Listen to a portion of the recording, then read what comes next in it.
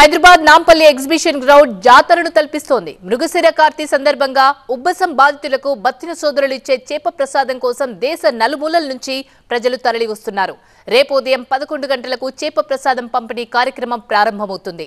రెండు రోజుల పాటు నిర్వహించే ఈ కార్యక్రమానికి రెండు లక్షల మందికి పైగా తరలి వచ్చే అవకాశం ఉంది ఇప్పటికే వివిధ రాష్ట్రాల నుంచి అనేక మంది నాంపల్లి ఎగ్జిబిషన్ గ్రౌండ్కు చేరుకున్నారు.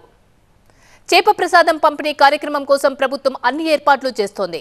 మంత్రి పొన్నం ప్రభాకర్ బత్తిన సోదరులతో కార్యక్రమ ఏర్పాట్లను సమీక్షించారు. స్పీకర్ గడ్డం ప్రసాద్తో కలిసి రేపు చేప ప్రసాదం పంపిణీ ప్రారంభిస్తారాయన. చేప ప్రసాదం పంపిణీ కోసం ముప్పై రెండుకు పైగా కౌంటర్లను ఏర్పాటు చేయడం సహా ఎలాంటి అవాంఛనీయ ఘటనలకు తావు లేకుండా పోలీస్ బలగాలతో భద్రతను కట్టుదిట్టం చేశారు.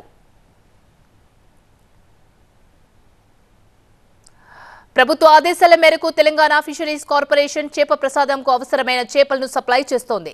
గత ఏడాది కంటే ఈసారి చేప ప్రసాదం కోసం ఎక్కువ మంది వచ్చే అవకాశం ఉంది. అందుకు తగ్గట్టుగా ఏర్పాట్లు చేశారు. వివిధ రాష్ట్రాల నుంచి తరలి వచ్చే వాళ్ళ కోసం ప్రభుత్వం స్వచ్ఛంద సంస్థల ఆధ్వర్యంలో ఉచిత భోజనం అందించబోతున్నారు.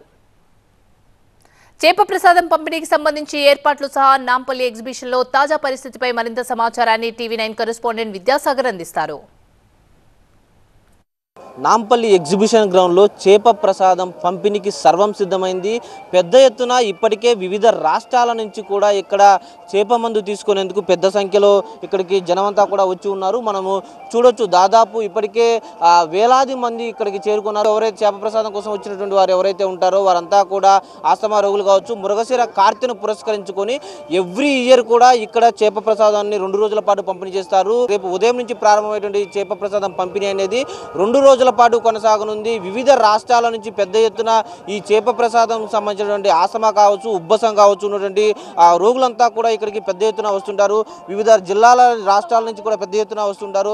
చూడొచ్చు మనం పెద్ద ఎత్తున వీరంతా కూడా ఇక్కడికి ఆ క్యూ లైన్లలో బారులు తీరి ఉన్నారు. దాదాపు ముప్పై రెండు కౌంటర్లు ఏర్పాటు చేశారు చేప ప్రసాదం పంపిణీకి. పెద్ద ఎత్తున మహిళలు చిన్నపిల్లలు వృద్ధులు వీరంతా కూడా ఎక్కువగా వస్తుంటారు కాబట్టి దాన్ని తగ్గట్టే రాష్ట్ర ప్రభుత్వం కూడా ఏర్పాటు చేసింది పూర్తి స్థాయిలో. ఇక్కడికి వచ్చిన వారికి ఎలాంటి అసౌకర్యాలు కలగకుండా పూర్తి స్థాయిలో భోజనం కావచ్చు వాటర్ కావచ్చు మరుగుదొడ్లు కావచ్చు వీటన్నిటిని కూడా పూర్తి స్థాయిలో ఏర్పాటు చేసినటువంటి పరిస్థితి కనిపిస్తుంది. లక్షలాది మంది కేవలం రెండు రోజుల్లోనే లక్షలాది మందికి ఈ చేప ప్రసాదం మందిని పంపిణీ చేస్తారు.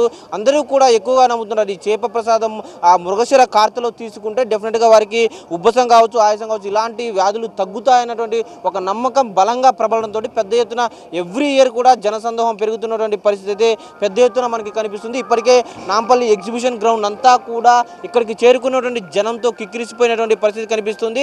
ఇక్కడ ఏర్పాట్లను ఎప్పటికప్పుడు బత్తిని సోదరులు కావచ్చు రాష్ట్ర ప్రభుత్వం నుంచి అధికారులు కావచ్చు పోలీసు ఉన్నతాధికారులు కావచ్చు భారీ భద్రత నడుమ ఇక్కడ ఏర్పాట్లను పర్యవేక్షిస్తున్నారు. ఎక్కడా కూడా ఎలాంటి అవాంఛనీయ ఘటన జరగకుండా రెండు రోజులు ప్రశాంతంగా చేప మందు పంపిణీకి పూర్తయ్యేలాగా కూడా ఇక్కడ ఏర్పాటు చేశారు. కెమెరామెన్ శేషుతో విద్యాసాగర్ టీవీ నైన్ హైదరాబాద్.